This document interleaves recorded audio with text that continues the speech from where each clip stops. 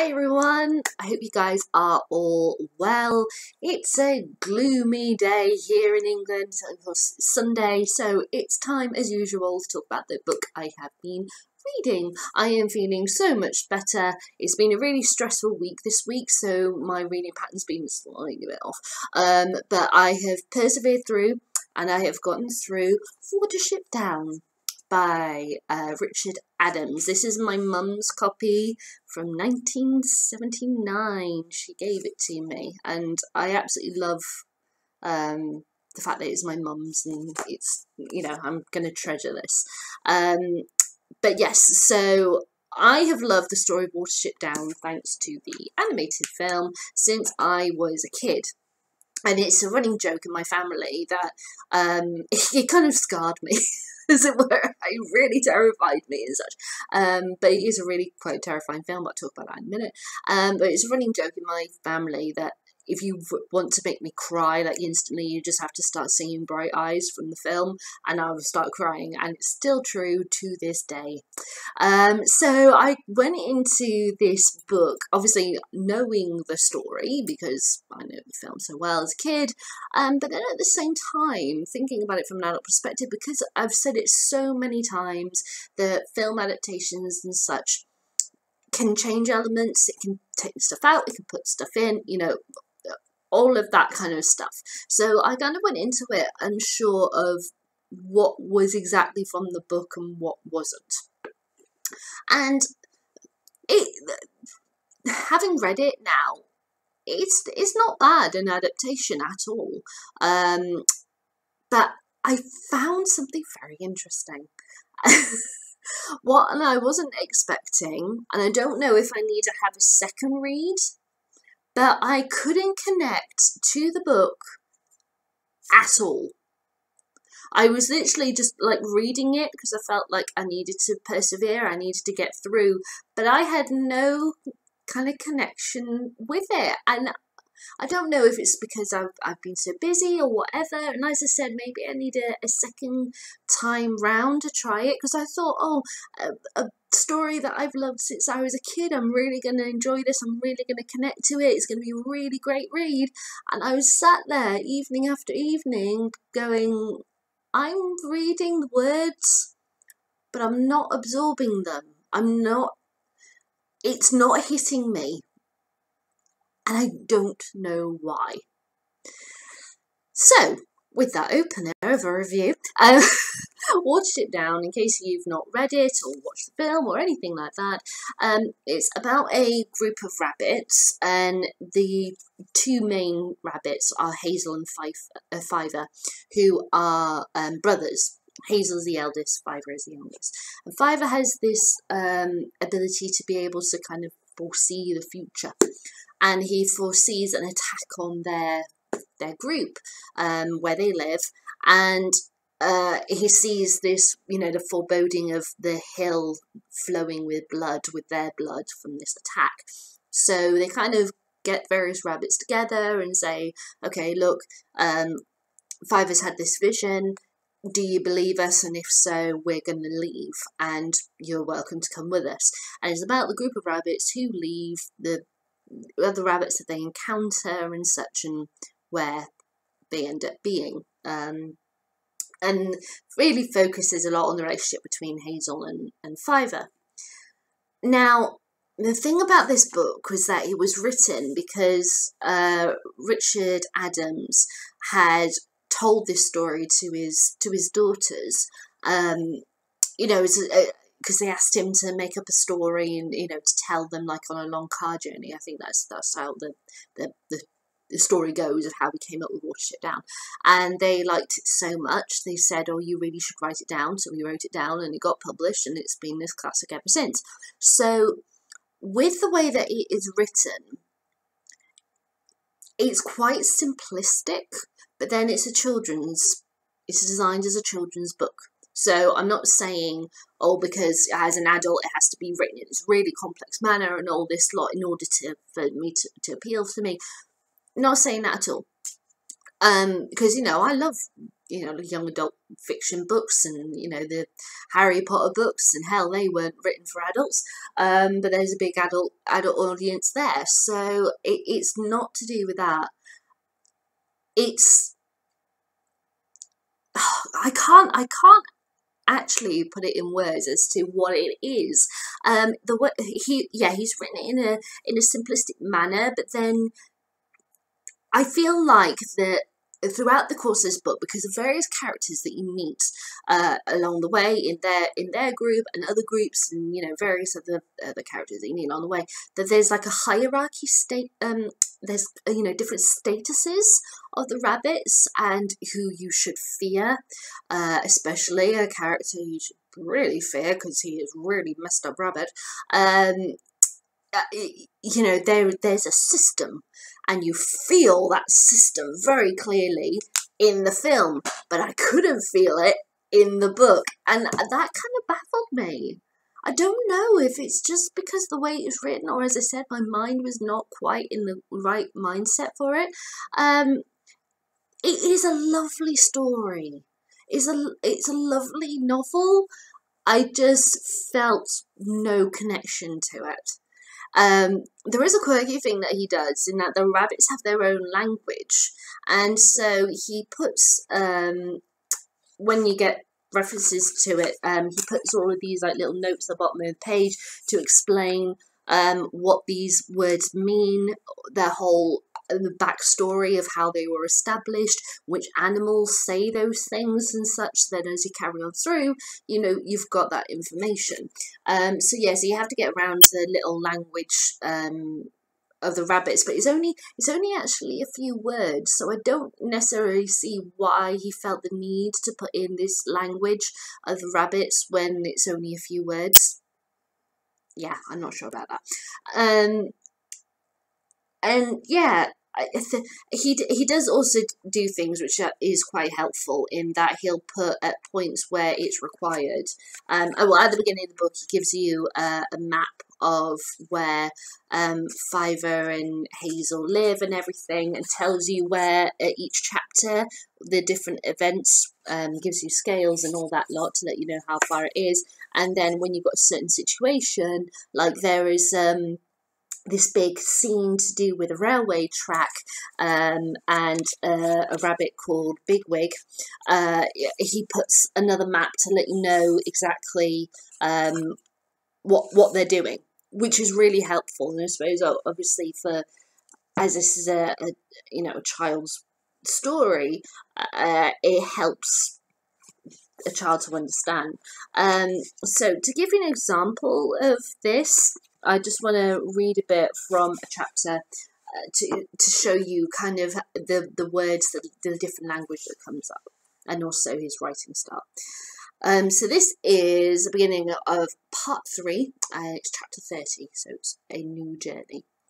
So with the exception of Buckthorn and addition of Bluebell, the rabbits set off from the southern end of the beech hanger early the next morning, where those who had left Sandleford with Hazel five weeks before.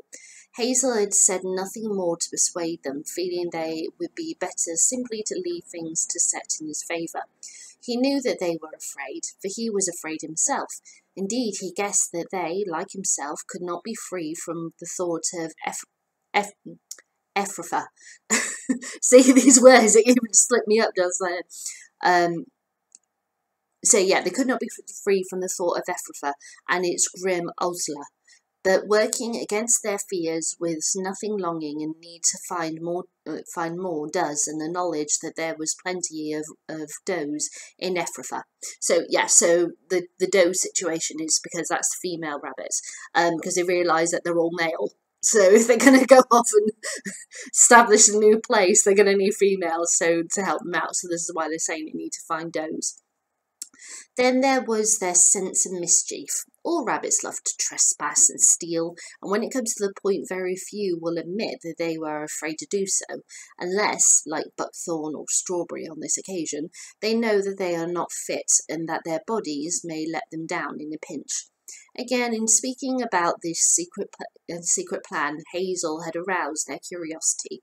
He had hoped that, with Fiver behind him, he could lure them with hints and promises, and he had been right. The rabbits trusted him, and Fiver, who had got them out of Sandleford before it was too late, crossed the Enborne in the common, taken Bigwig out the wire, found the warren of the downs, made an alley of Kehaar, and produced two does against all odds. There was no telling what they what they would do next, but they were evident, evidently up to something.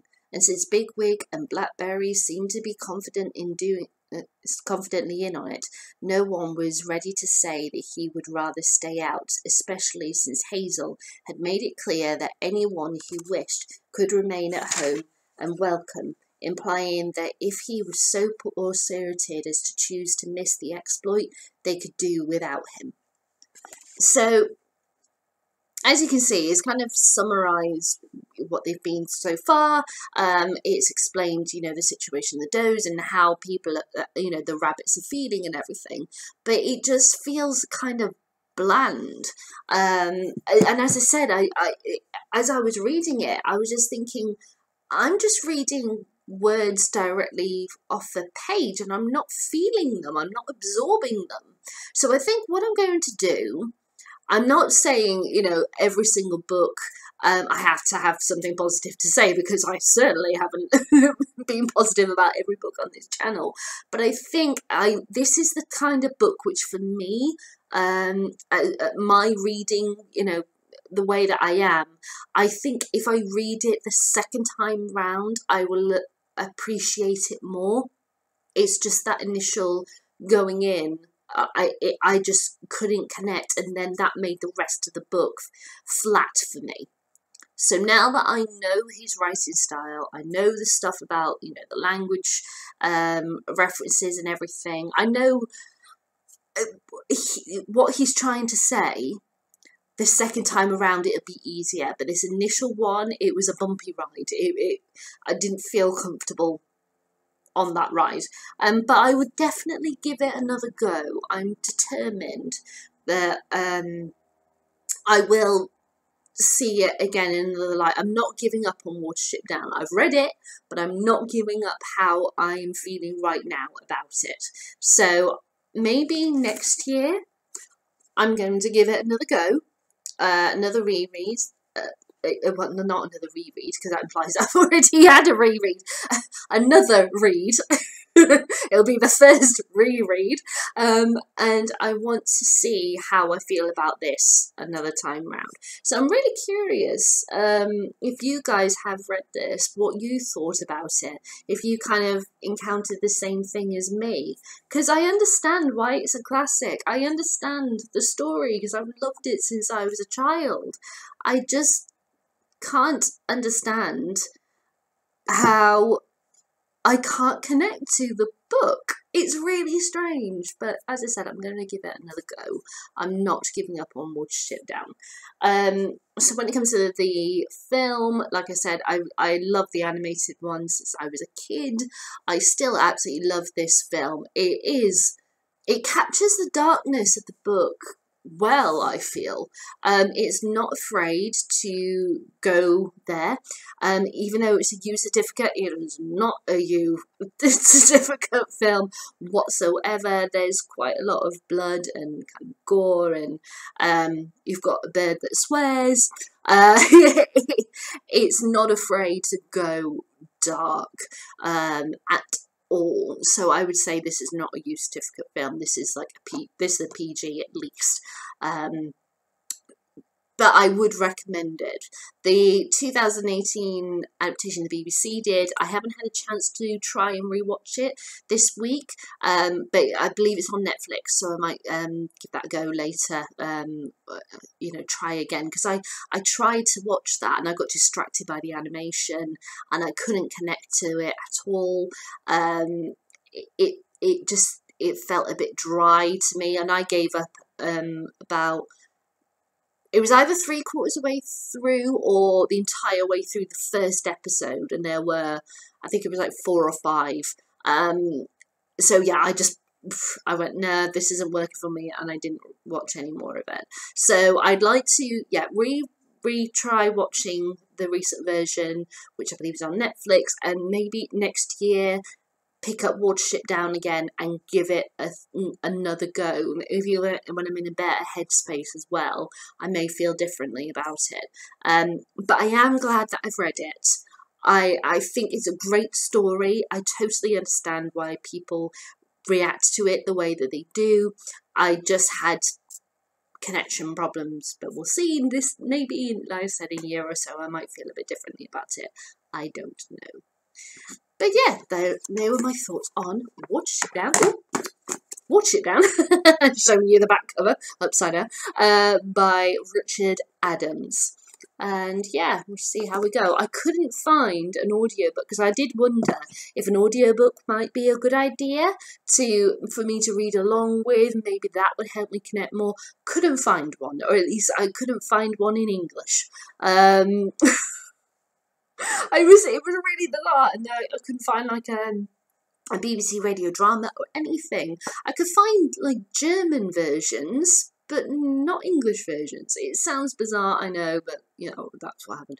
Um, so yeah, so I've got I've got nothing else to recommend audio wise for you. Um, but I would recommend the animated film one, but be aware that it's quite um, bloody and gory, and it has a swearing bird in it. Um, but there we go. Those are my thoughts. So, have you read this book? I'd love to know what you think. You leave me a comment in the comments box below. Give me a thumbs up, thumbs down.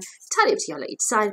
And uh, as announced previously, I am going to be reading The Handmaid's Tale next. Um, it's going to be dark, it's going to be hard, and I'm going to love every second of it, I can just tell. Um, and I've bought a few new books recently, which I'm so excited to share with you guys, especially one that I got today, which I have been dying to get hold of, and I got it for £4.50 at Tesco. Yes, uh, less than half price fantastic. Um, but I will do a separate video for that um, when I come to do my review of Handmaid's Tale because at that point I've I've finished the ones um, that I've already announced. So I will be back with my thoughts on The Handmaid's Tale as soon as I'm done. Alright guys, bye!